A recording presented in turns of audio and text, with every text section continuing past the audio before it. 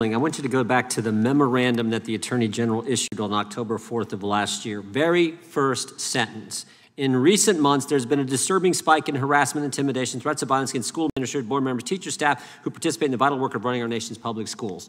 When he testified, when the Attorney General testified, we asked him a simple question What was the basis for you putting that first sentence in your memorandum? And what did he say? What did he say? He said it was the letter from the National School Boards Association that they have now said we regret and apologize for sending. The letter, as the gentleman from Texas just pointed out, they coordinated with the White House to use the words domestic terrorism in the letter and cite the Patriot Act.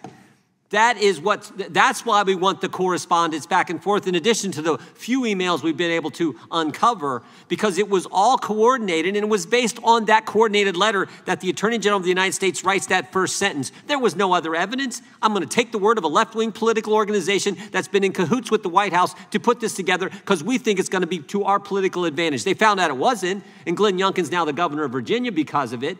But that's what they did. We want all the communications between the White House, the NSBA, and the Justice Department that put this whole scheme together.